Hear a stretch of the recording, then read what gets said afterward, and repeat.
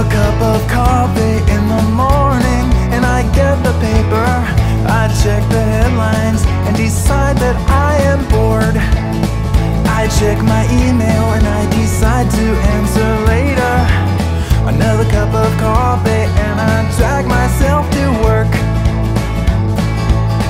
My life is drowning